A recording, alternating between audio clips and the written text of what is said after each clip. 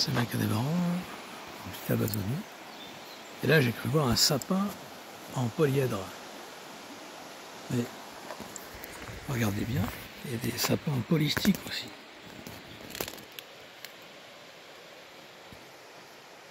Voilà, poly.